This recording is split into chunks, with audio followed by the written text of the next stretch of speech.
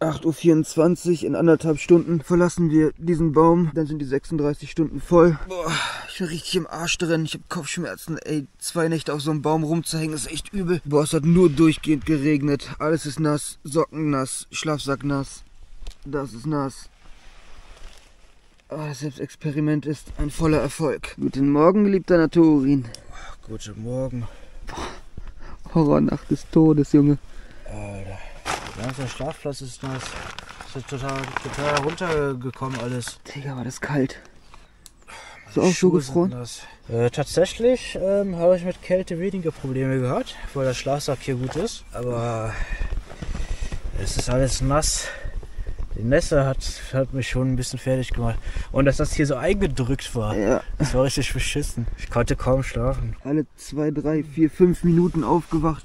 Wieder anders positioniert, weil alles drückt, alles nass ist. Hals, alles komplett verspannt. Der pure Wahnsinn. Hier, Alter. Oh. Oh.